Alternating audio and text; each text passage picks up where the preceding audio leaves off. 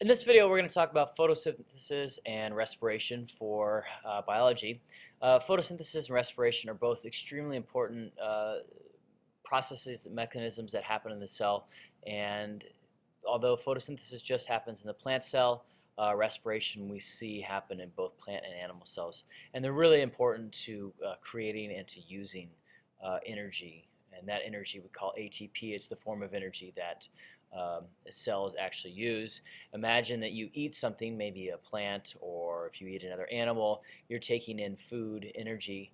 That energy um, is in the form of sugars and other molecules that your cells can't use. And so to change that into a usable form of energy, uh, respiration has to happen. So let's take a look at these two uh, in a little bit more detail here. The first is photosynthesis, and photosynthesis, as I said, happens in plants. Um, and it's the process of producing sugars in plants or in some bacteria. And really what's happening here is plants or these bacteria are taking in light, they're taking in water, carbon dioxide, and they're producing sugars from that. So they're basically taking very raw materials, uh, things that are widely found in our environment, and turning that into a usable form of sugar um, that they can use.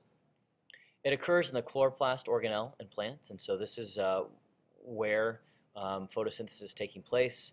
Uh, within the chloroplast organelles, there are uh, small portions um, that are actually green in color, and so that's what produces or makes the, the green color we see in most plant leaves. Um, is the pigment within those chloroplasts, and they're used to actually absorb uh, the light. Uh, the inputs, as I, as I shared, is, is carbon dioxide. So carbon dioxide is being taken in by the plants. They use sunlight and they use water. And so carbon dioxide and water are providing the, um, the molecules or the atoms necessary to produce the sugar. The sunlight is providing the energy or kind of the spark that actually drives this whole process. And what it spits out or the products are sugar and oxygen. You've probably heard before uh, or in the past that uh, if rainforests are cut down or if trees are removed from the environment, there's going to be less oxygen. There's less oxygen available. And the reason behind that and the thought behind that is uh, plants are taking in carbon dioxide, which humans and, and most other organisms give off. And they take in that carbon dioxide and they're giving off or producing oxygen and the sugar. And we end up using both of those oxygen to breathe and for respiration, and we need sugar. Um, we get a lot of our energy, a lot of our nutrients, a lot of our sugars from plants. Here's a nice uh, diagram that kind of outlines and shows us the process here.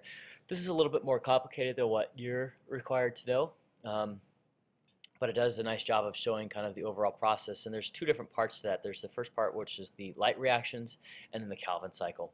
And in the light reactions, we have water going in, as well as sunlight. So water and sunlight go into uh, the first portion of this, and this is photosystem 1 and photosystem 2, um, electron transport chain.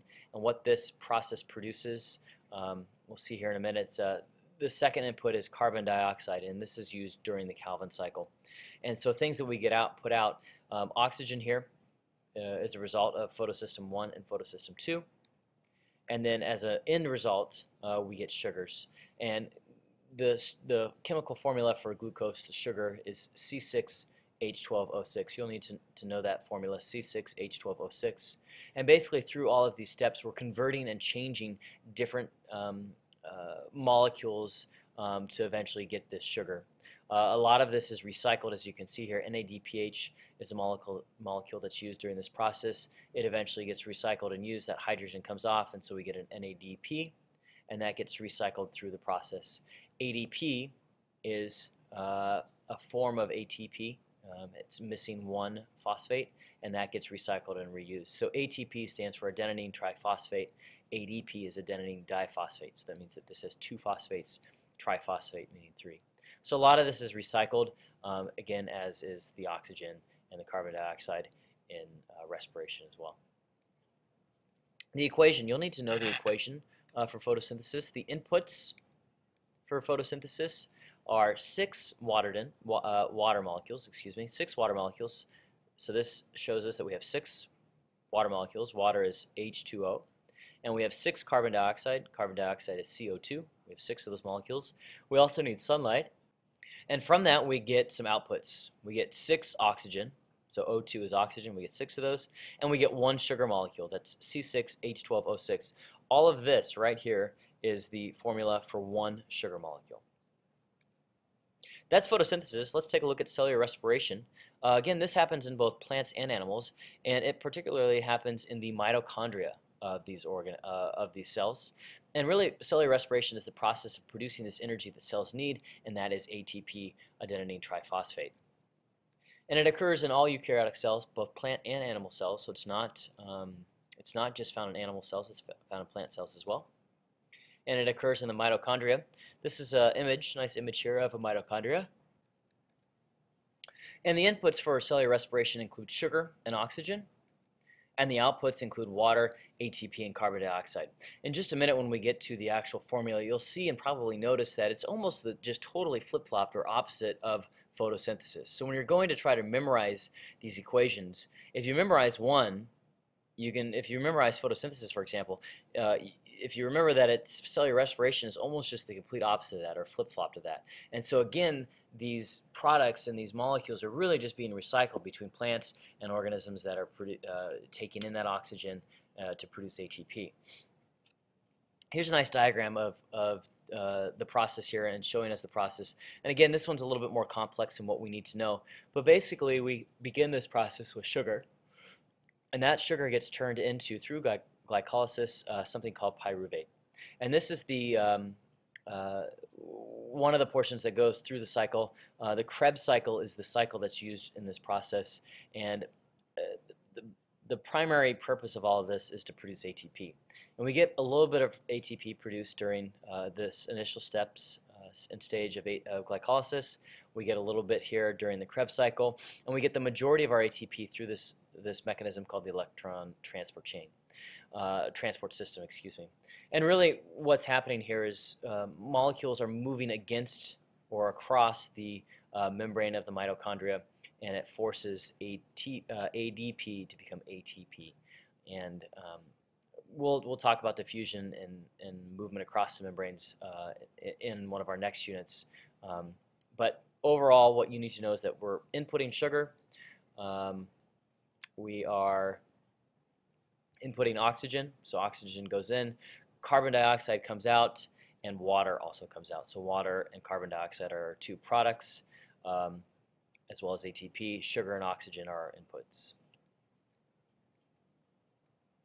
So let's take a look at the equation for cellular respiration here. Our inputs, 6 oxygen, uh, uh, 1 sugar, C6H12O6.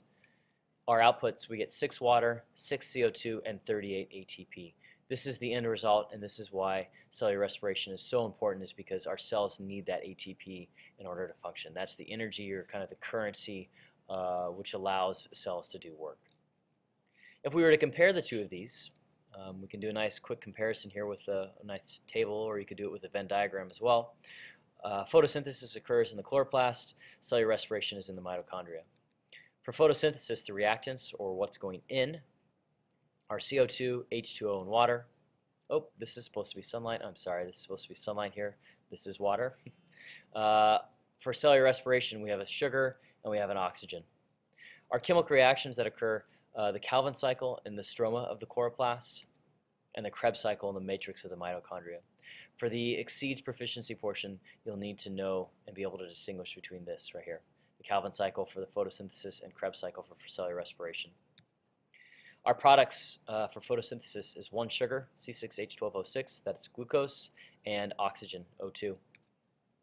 And for cellular respiration, we get CO2, H2O, and 38 ATP. Those are our overall products. So that's photosynthesis and respiration. Um, this is the level that you'll need to know it for our class.